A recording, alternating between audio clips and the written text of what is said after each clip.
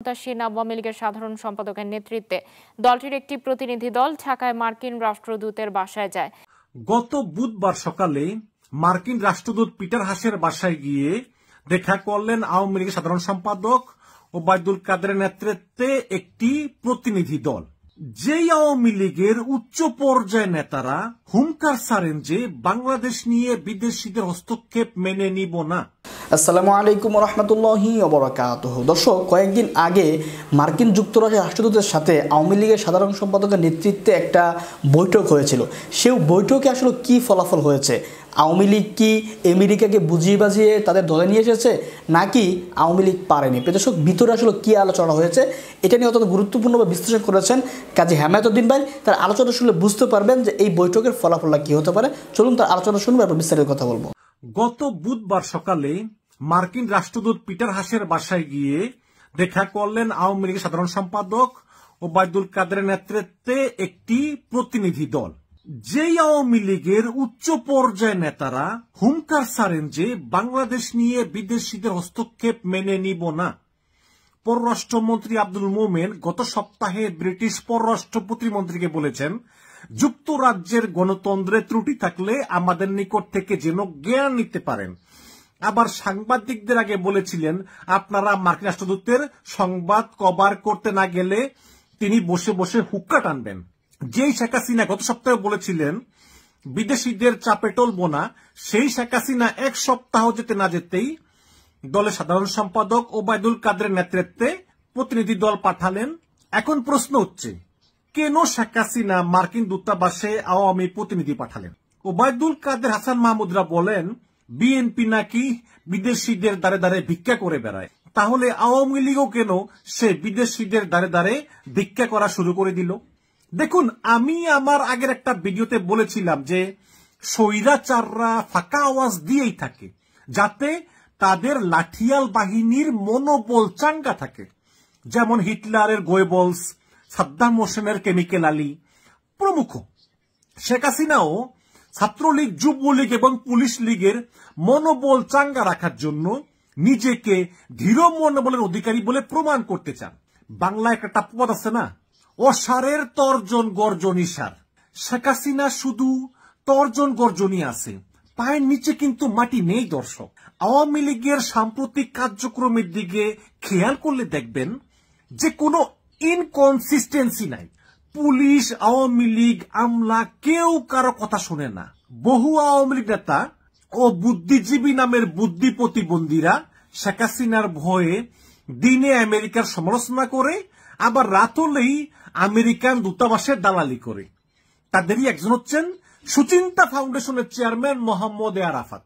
মার্কিন রাষ্ট্রদূতের সাথে সাক্ষাৎ করা আওয়ামী লীগ প্রতিনিধি দলে তিনিও ছিলেন। তিনি কীভাবে ডাবল রোল প্লে করেন, সে ব্যাপারে ভিডিওর শেষের দিকে আমি একটু আলোচনা করব। আরেকটা খবরে দেখলাম যে তিনশো কোটি টাকা ব্যয়ে পুলিশের জন্য অত্যাধুনিক সাজোয়া যান কিনতেছে এবং এই গাড়িগুলিতে নাকি অত্যাধুনিক যন্ত্রপাতি বসানো আছে। যদিও পুলিশ বলতেছে যে, উগ্রবাদ দমন করার জন্যই এই সাজোয়া যানগুলোর আমদানি, কিন্তু আমরা তো জানি যে এগুলো বিএনপিকে দমন করার জন্যই ব্যবহৃত হবে। গত সপ্তাহে হঠাৎ ভারতের হাইকমিশনার প্রণয় বার্মা বিএনপিকে নৈশ বোঝে দাওয়া দিয়েছিলেন এবং জানতে চেয়েছিলেন, বিএনপির সঙ্গে জামাতের সম্পর্কটা কি। জবাবে মির্জা ফখরুল বলেছিলেন যে জামাত বিএনপির সঙ্গে জোটে নাই। এখন জামাতকে ভারত কেন পছন্দ করে না, সেটা ভিন্ন আলাপ। কিন্তু বিএনপির উত্তরে ভারতীয় হাইকমিশনার সন্তুষ্ট হয়েছেন বলেই জানা যায়। তাহলে প্রশ্ন হচ্ছে, বিএনপির প্রতি কি ভারতের দৃষ্টিভঙ্গির পরিবর্তন ঘটেছে? দর্শক, এই প্রশ্নে সঠিক উত্তর দেওয়া আমার জন্য কষ্টসাধ্য। কারণ শুরু থেকেই ভারতের আচরণ মানে খুবই রহস্যময়। তবে আমি মনে করি যে ভারত আওয়ামী লীগকে মৌন সমর্থন দিয়ে যাবে। তবে শেখ হাসিনাকে ক্ষমতায় টিকিয়ে রাখার জন্য প্রকাশ্যে ভারত আর কিছুই করবে না। নিজেদের নিরপেক্ষতা অবস্থান ধরে রাখতে চাইবে যাতে বিএনপি ক্ষমতা এলেও ভারতের স্বার্থ অক্ষুণ্ণ থাকে। ভারতের হাইকমিশনারের সঙ্গে বিএনপির মিটিং দেখেই শেখ হাসিনা ভয় পেয়ে গিয়েছেন। এবং এই ভয় পেয়ে শেখ হাসিনা করলেন কি? গভর্নিং কাউন্সিল অফ ইন্ডিয়া ফাউন্ডেশনের প্রধান রাম মাধবকে বলেছেন, ভারত চাইলে চট্টগ্রাম ও সিলেট বিমানবন্দর ব্যবহার করতে পারে। গত চোদ্দ বছরে ভারত না চাইতেই সব দিয়ে দেওয়ার পরেও প্রয়োজনে ভারতকে আরও দিবে আরও দিবে।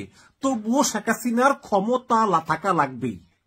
পায়ের নিচে মাটির না থাকার কারণেই দেশ বিক্রি করে দিয়ে হলেও ক্ষমতায় থাকতে চায় শেখ হাসিনা। বিএনপির সাথে কোনো আলোচনা নয় বলার পরেও শেখ হাসিনা আবার নির্বাচন কমিশনকে দিয়ে বিএনপিকে আলোচনার প্রস্তাব পাঠিয়েছে। বিএনপি এই প্রস্তাব সরাসরি নাকচ করে দিয়ে বুদ্ধিমানের কাজ করেছে বলে আমি মনে করি।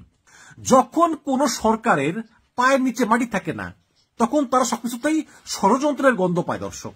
সম্প্রতি রাষ্ট্রবিরোধী পরিকল্পনার জন্য বনানী ক্লাবে গোপন বৈঠক করেছেন এমন সংবাদের ভিত্তিতে বনানী ক্লাবে অভিযান চালিয়ে বিএনপির চুয়ান্ন জন নেতাকর্মীকে আটক করেছে পুলিশ। আগে এটা করা হতো শুধু জামাতের ক্ষেত্রে।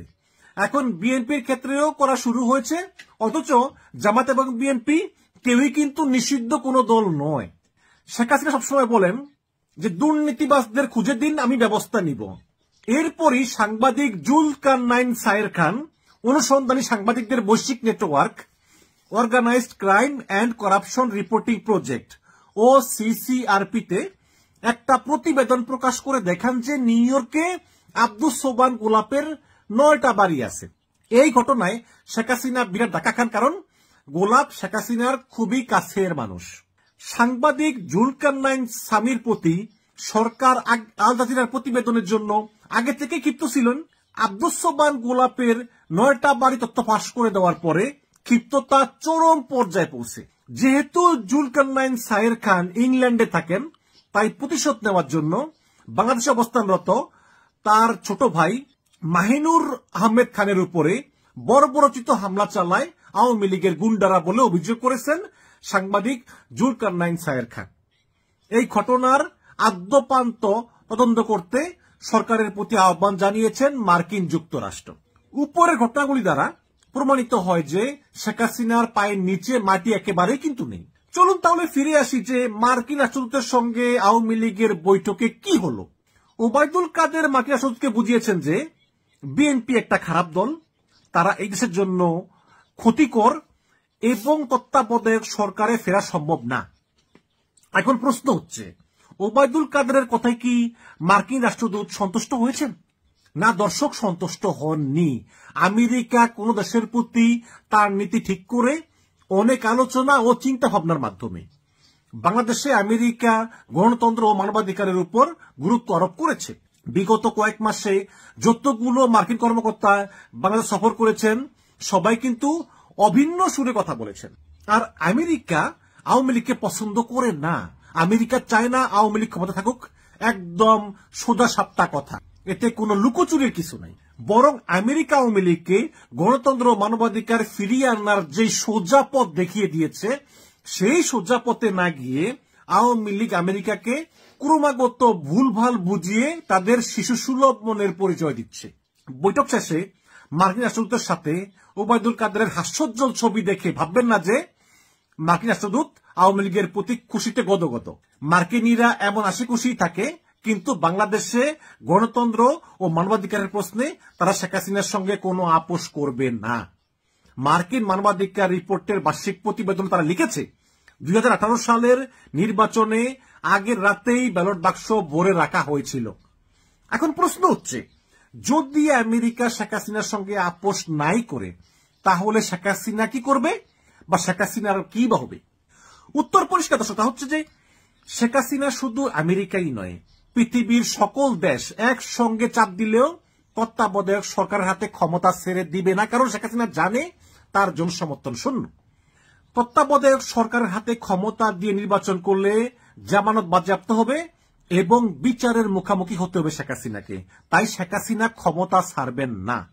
প্রয়োজনে দেশ ধ্বংস হবে, জনগণ সাফার করবে আরও নিষেধাজ্ঞা আসবে, কিন্তু তিনি ক্ষমতা ছাড়বেন না। শেখ হাসিনার মনে এখনও আশা আছে যে তিনি আমেরিকাকে দিয়ে বিএনপিকে বুঝিয়ে শুনিয়ে নির্বাচন করতে রাজি করাবেন। কিন্তু বিএনপি শেখ হাসিনা সরকারের অধীনে নির্বাচনে না আসলে শেখ হাসিনা একদিকে বিএনপির উপরে পুলিশের নতুন আমদানিকৃত সাজোয়া যান দিয়ে দমন পীড়ন চালাবেন, অন্যদিকে আমেরিকার বিরুদ্ধে প্রোপাগান্ডা চালাবেন। আওয়ামী লীগ সরকার অলরেডি ছোট পরিসরে কিন্তু আমেরিকার বিরুদ্ধে প্রোপাগান্ডা শুরু করে দিয়েছে। রাশিয়া ইউক্রেন যুদ্ধ নিয়ে সরকার ঘরানার সময় টিভি ও একাত্তর টিভির সংবাদ প্রচারের ধরন দেখলে আপনারা এগুলো বুঝে যাবেন। আমার চ্যানেলে সরকারের নিয়োগকৃত বট বাহিনী সবসময় কমেন্ট করে থাকে। তো ওরা মূলত কমেন্ট প্রতি একটা পয়সা পায় এবং আওয়ামী লীগের সংগঠন সিআরআই যেই সব কমেন্ট কপি করে ওদেরকে পাঠায়, সেই কমেন্টগুলো ওরা পেস্ট করে দেয়। এই ভাড়ায় খাটা বট বাহিনীর কমেন্ট দেখে সরকারের চিন্তা ভাবনা কিছুটা হলেও অনুমান করা যায়। ইদানিং বট বাহিনী আমেরিকার নিন্দামূলক কমেন্ট বেশি করতেছে। যেমন, আমেরিকা মুক্তিযুদ্ধের বিরোধিতা করেছিল, একাত্তর সালে আমেরিকা পাকিস্তানের পক্ষে ছিল, আমেরিকা ইরাক আক্রমণ করে সেখা- সেখানে বহুমূলক মারা গিয়েছে, ইসরায়েল কর্তৃক এত ফিলিস্তিনি মারা যায়, আমেরিকা একদম চুপ থাকে, ইত্যাদি ইত্যাদি, এগুলো করে। দর্শক আমেরিকা উনিশশো একাত্তর সালে পাকিস্তানের পক্ষে ছিল বলে আমরা বর্তমানে আমেরিকার ভালো নীতি গ্রহণ করব না। এটা হওয়া তো উচিত না। উনিশশো একাত্তর সালে মুক্তিযুদ্ধ ছিল আমেরিকার স্বার্থের পরিপন্থী। তাই আমেরিকা বিরোধিতা করেছে। এখন বাংলাদেশে গণতন্ত্র মানবাধিকার প্রতিষ্ঠা আমেরিকার স্বার্থের অনুকূলে এবং তার জনগণের স্বার্থের অনুকূলে। চীনও কিন্তু একাত্তর সালে মুক্তিযুদ্ধের বিরোধিতা করেছে। পাকিস্তানের পক্ষে ছিল। আর আজ চীনের সঙ্গে শেখ হাসিনার একদম কঠিন পীড়িত। কারণ দর্শক, আপনারা তার আলোচনাটা শুনেছেন। আশা বুঝতে পেরেছেন যে তাদের বৈঠকে কী আলোচনা হতে পারে। এত করে স্পষ্ট হয়ে গিয়েছে যে আওয়ামী লীগের সাথে এই যুক্তরাষ্ট্রের সম্পর্কটা বেশি ভালো হয়নি বা বৈঠক বৈঠক করেও কিন্তু কোনো লাভ হয়নি। কারণ যে রিপোর্টটা দেওয়া হয়েছে, নতুন যে প্রতিবেদন, সেখানে কিন্তু স্পষ্ট আওয়ামী লীগ বিরোধী একটা রিপোর্ট দেওয়া হয়েছে, আমি বলব। কারণ বলা হচ্ছে যে গত নির্বাচনগুলো কোনো সুষ্ঠু হয়নি। বিরোধী দলের উপর দরপক্ষ করা হয়েছে। বোঝাই যাচ্ছে যে আওয়ামী লীগের সাথে আমেরিকার সম্পর্কটা খুবই খারাপের দিকে আছে। দর্শক এখন দেখার বিষয় হচ্ছে সামনের দিনগুলো কীভাবে যায়।